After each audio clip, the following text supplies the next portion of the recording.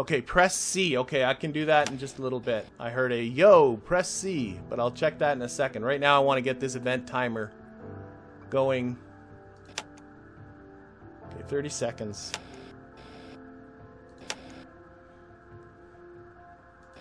But I think I was following a checklist that actually is meant to be followed when you're much closer. That's the theory. I don't. I've not done the actual matching velocity check um, burn yet. Okay, 11, 9, 8, 7, 6, 5, 4, 3. Start the timer. Okay. Press C Press C tells you the next thing that is required coming up if you get lost with what you're doing. If I press C, that brings up, oh, up here, current objective, waiting to reach, oh, thank you. T minus 50 seconds for the rendezvous burn. Time is 6 minutes and 52 seconds. Close enough.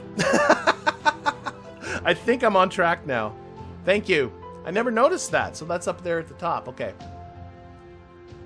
I got a burn coming up.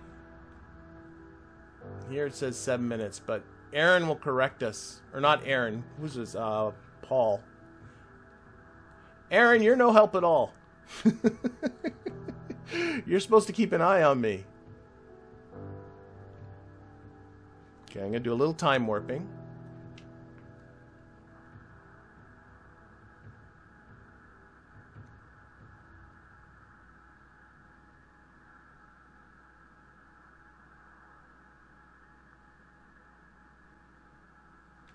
Okay, computer light went out. That's a good sign.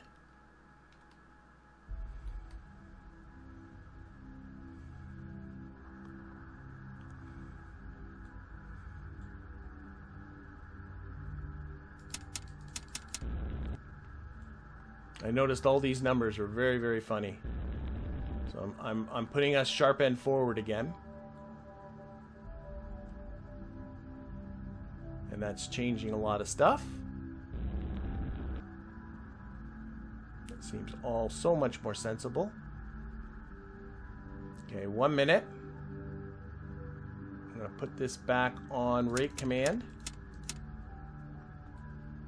Alright.